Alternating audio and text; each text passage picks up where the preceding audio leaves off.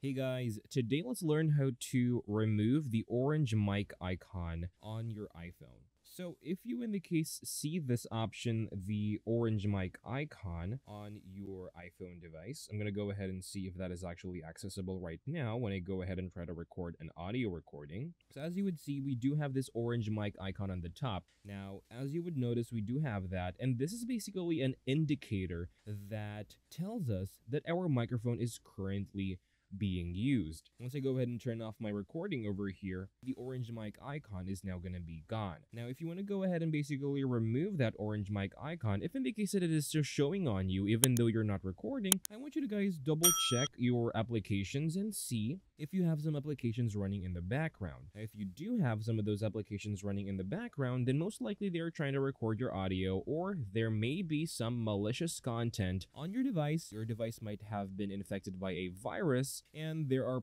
people that are currently spying on you through your microphone. So you need to go ahead and double check your applications and see which are the ones that has those malicious content. You need to go ahead and review your recent downloads and see if you have downloaded a an accidental virus or if you have accessed a phishing link through any link that you have tapped into. Essentially, that is all for this video. Thank you guys for watching. Please like and subscribe and take care.